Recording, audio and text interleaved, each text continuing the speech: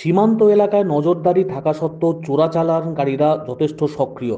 সীমান্ত এলাকা থেকে এবার প্রচুর পরিমাণে নিষিদ্ধ কাপ সিরাপ উদ্ধার করল পুলিশ।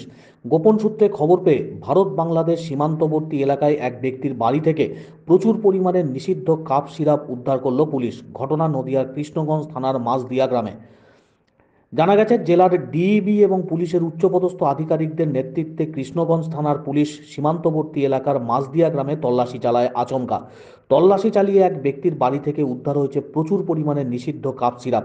পুলিশের প্রাথমিক অনুমান, এই কাপ সিরাপগুলি সুযোগ বুঝে ভারত বাংলাদেশের সীমান্ত দিয়ে বাংলাদেশে পাচার করার লক্ষ্য ছিল এবং তার জন্যই মজুত করা হয়েছিল। গোপন সূত্রে খবর পেয়ে সেগুলোকে পুলিশ বাজেয়াপ্ত করে। সিরাপগুলিকে উদ্ধারের পাশাপাশি পুলিশ ওই বাড়ির মালিককে জিজ্ঞাসাবাদের পর তাকে গ্রেপ্তার করেছে। গোটা ঘটনার তদন্ত শুরু হয়েছে ইতিমধ্যেই। চক্রের সঙ্গে আর কারা কারা যুক্ত সমস্ত বিষয়ে খোঁজ শুরু হয়েছে পুলিশের তরফে। ঘটনাকে কেন্দ্র করে যথেষ্ট চাঞ্চল্য নদিয়ার কৃষ্ণগঞ্জ থানার মাঝদিয়া এলাকায়। আমাদের কাছে সংবাদ আছে। তা আমরা আমাদের রেসপেক্টেড ডিএসপি সাহেব এসেছেন। ওনার সামনে এবং পাবলিকের সামনে বাড়িটা সার্চ করব। যদি কিছু পাই আপনাদের সামনে সিডার হবে। আর যদি কিছু না পাই আমরা নীল সিজার লিস্ট করে আপনাদের সামনে নীল সিডার লিস্ট বাড়ি মালিককে দিয়ে চলে যাব। ঠিক আছে? একটু প্লিজ আসুন আমাদের সাথে। এই সার্চ সিজার প্রসিডিওর করুন। আপনার কোনো আপনার কোনো এই যে আছে এই যে কাশি সিরাপ রেখেছেন আপনার কোনো লাইসেন্স আছে? না। ওষুধের লাইসেন্স আছে? না সেটা নেই। এখন তো এটা লাইসেন্স ঠিক আছে। তার মানে ওষুধের লাইসেন্স নেই তার মানে এটা আপনি অবৈধভাবে রেখেছেন। মানে ভাড়া এই টোটাল খোলো। প্রথমে একটা অ্যাম্বুলেন্স থেকে ধরলাম দুই হাজার তারপর একটা লরি থেকে ধরলাম ন হাজার প্রথম স্যার হচ্ছে আপনি হচ্ছে এই চৌক ইয়ে না না যাবেন না প্লিজ প্লিজ প্লিজ একটু বসুন প্লিজ কখন করব তাহলে? কোনো ব্যাংক নেই না আমি তো ফোন করতে পারব না।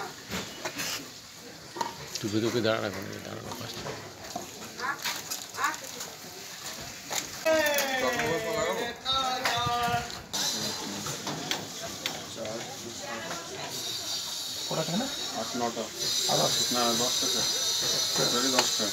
অনেক কিছু করা যায়। বিষয়টা এখন আমি বোকা হয়ে গেছি তো। তাই এর লাস্ট পাল আমি মাছ দিয়ে দেখে নেব এটুকু বললাম। কে কি করে সব আমি বলব কে ঘুষ খায় আমি সামনে সব বলব। ঠিক আছে। ঠিক আছে? যারা মান্থলি তোলে টোটালটাই আমি আমি যদি কিছু হয় তা আমি কাউকে ছাড়বো না মাছ দিয়ে সামনে বললাম। ঠিক আছে। ওকে ছাড়বো না। এই কথাটাই ঠিক আছে ছাড়বেন ভেরি গুড আমি এটাই চাই তোমার তোমার বাড়ি থেকে আগে ন হাজার বোতল ধরেছিলাম মনে আছে? সব জানি। একদম আমার আমি সবই জানি তো। তা আমি যদি ঠিক আছে বলবেন বলবেন। হ্যাঁ, বলবেন স্যার আমি এটা আমাদেরই লাভ। আমি কিন্তু একটা বেকার ছেলে? বেকার ছেলে বলে আপনি যা খুশি করতে আমি পারেন আমি ভাড়া পাই। এই শামসু সাহেব কোথায়? এই তোমার নাম কি গো? পবিত্র কবে কবে এগুলো কবে রেখেছে এগুলো? সেটা কাল রাতে এসেছে। আমি রাখি না আসুন। কৃষ্ণনগর পিঠে অর্ডার অনুযায়ী আমি এখানে এসেছি।